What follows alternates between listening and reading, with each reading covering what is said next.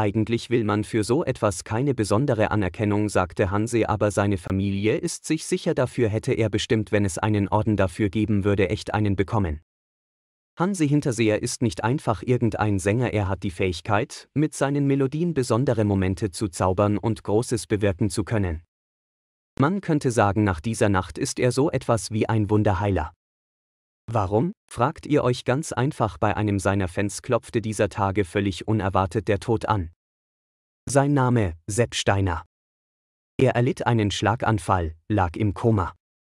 Die Sorge um sein Leben war groß.